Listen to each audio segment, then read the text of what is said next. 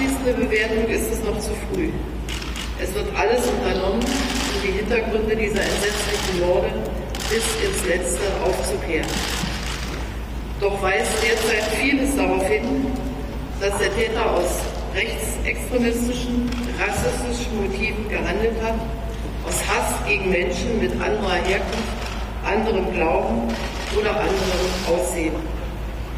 Rassismus ist ein Gift, der Hass ist ein Gift. Und dieses Gift existiert in unserer Gesellschaft und es ist schuld an schon viel zu vielen Verbrechen.